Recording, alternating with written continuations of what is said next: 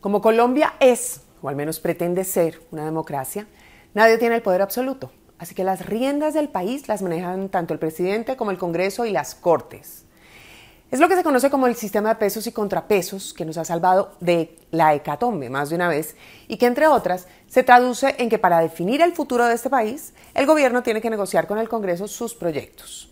Este 20 de junio terminan las sesiones ordinarias del Congreso, es decir, los congresistas se van de receso y con eso se termina el primer periodo legislativo del gobierno de Gustavo Petro.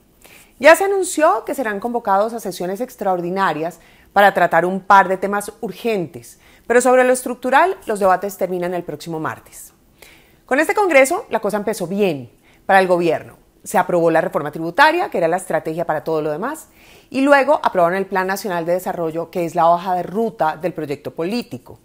Además, salieron adelante temas fundamentales en el camino hacia el reconocimiento de derechos y la superación del conflicto la jurisdicción agraria, el reconocimiento de los campesinos como sujeto de derechos y la participación paritaria de las mujeres. Además, el Congreso aprobó el recorte del receso legislativo. Hasta ahora las sesiones comenzaban el 16 de marzo, pero con lo aprobado empezarán en febrero. Todo eso son buenas noticias. Sin embargo, se hundió la reforma política, que también era una bandera de este gobierno. Y están en ese mismo riesgo la ley de sometimiento y la de humanización carcelaria. Pero todo parece indicar que se salvaron la reforma a la salud, la pensional y la laboral, que seguirán su curso en la siguiente legislatura.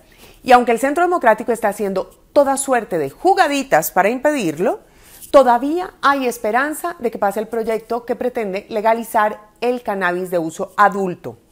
Pero como esa es una reforma constitucional, si no se aprueba de aquí al 20 de junio, se perderá la posibilidad histórica de replantear el tratamiento a ese tipo de sustancias.